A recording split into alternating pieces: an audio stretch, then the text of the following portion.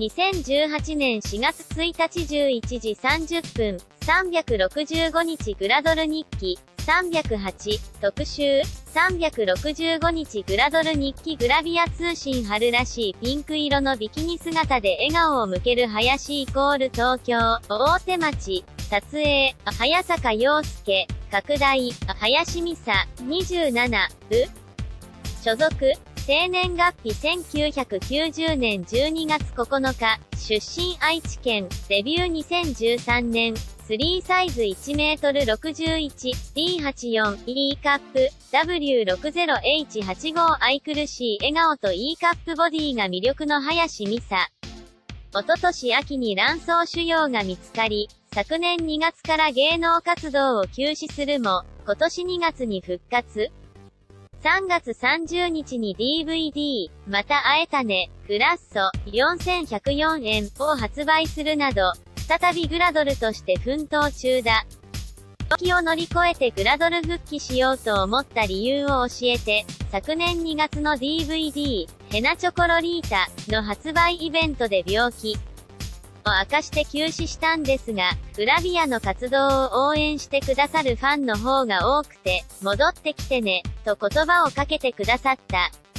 この言葉が一番の原動力になって、復帰したらグラビアの土俵に立って、まだまだ力はあるぞ、というのを見せたいと思いました。闘病中はどんなことをこう、得ていた。ツイッターやブログの更新は一切せずに治療に専念していたのですが、書き込みをしてくれるファンの方がいて、それがとてもパワーになりました。頑張れるきっかけになりました。入院中とか芸能界から離れて第三者の立場から見るグラビア界は動きがすごかった。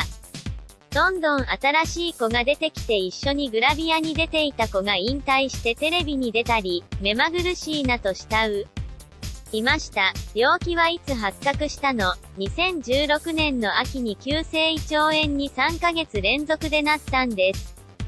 病院でおかしいということになって、カラットを取ったら卵巣が4倍近くに腫れていた。腹腔強化手術というおへその下あたりに穴を開けてガスを入れて行う手術をしました。復帰して水着を着るのに抵抗はなかった。若干、抵抗はありましたね。今回の復帰作の DVD を2月22日に都内で撮影したのですが、カメラを向けられると最初は恥ずかしさもあったのですが、抵抗感とかはな、くなりました。マイナス1年の充電期間を経ての心境は、1年間休業させてもらって自分を客観的に見られるいい機会にもなりました。前向きにいい時間だったと思います。復帰作の DVD、また会えたね、にワド。という思いを込めた、タイトル通り、また会えたねという気持ちを込めました。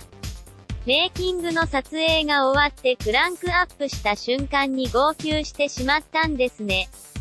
ファンの方に伝わるかなとか、カメラを向けてくれてありがとうとか、いろんな思いが込み上げてきました。自分にとっても記念の作品になりましたし、また林美沙が戻ってきたよというのを感じてもらえたら、ちなみに芸能界デビューはいつ、きっかけを教えて、小学6年生くらいからオーディションは受けまくってました。プラビアは事務所のスクールで声をかけてもらって、初めての作品は、2014年3月の DVD、ファーストコンタクトで、すね。今後はどんな活動をしていきたい？年齢は関係なく誰かが見たいと言ってくれる限り、グラビアは続けていきたい。タレントっていろんな活動がありますが、病気を乗り越えたからこそ笑いを提供できるお仕事がしたいなと思っています。バラエティ番組とかに出て、笑ってくれる人や笑顔になってくれる人を増やせたら、今、あなたにおすすめ。